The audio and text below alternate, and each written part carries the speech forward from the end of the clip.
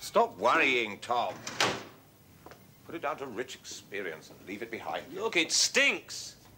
There's a cover-up on the whole affair. Wheels within wheels. Look, shall we call this matter closed before we really fall out? Only your position with this organization and Anne's come to that has saved you both from serious investigation. However, all that matters is that you're here safe and sound. Now let the past be. Do that, and we might all be out of a job. I have a long memory.